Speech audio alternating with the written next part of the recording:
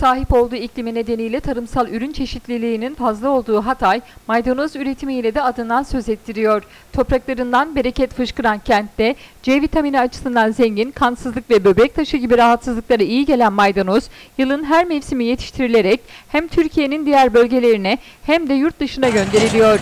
Gıda Tarım ve Hayvancılık İl Müdürlüğü'nden alınan bilgiye göre Hatay'da geçen yıl 57.728 ton maydanoz üretimi yapıldı.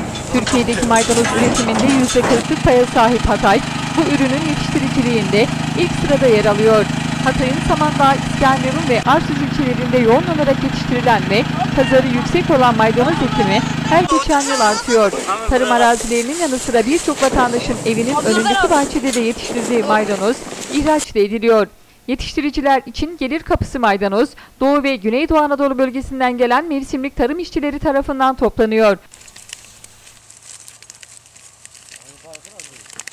Diyarbakır'dan geliyoruz her sene. Mevsimlik işçi olarak.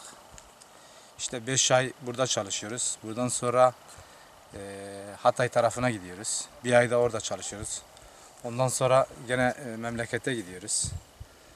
O memlekette e, bir ay falan istirahat aldıktan sonra gene çıkıyoruz gurbete. Ankara'ya, Adapazarı'na, İzmir'e.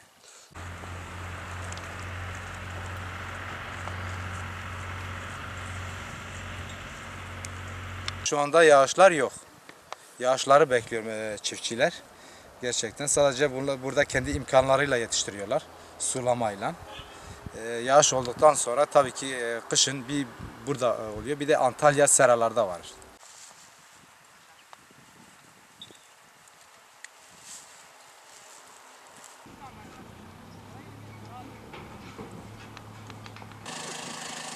Çar mı çar mı?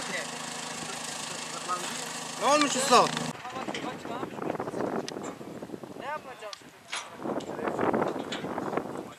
Şu anda e, kendi imkanlarıyla yetiştiriyorlar. Normal. Yani iyi olacak yani. Daha yeni başladı bu sene. Hasatlar yeni başladı. Geçen sene e, Rusya pazarı kapalı olduğu için burada maydanoz para etmedi ama bu sene e, kapılar açıldığı açıldığı zaman öyle çiftçilerin umudu var.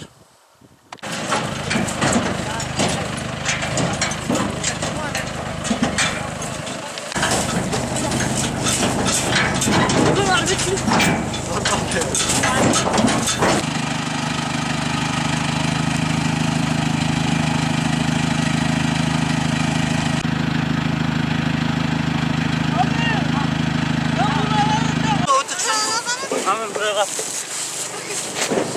아, 밑으로 따라가.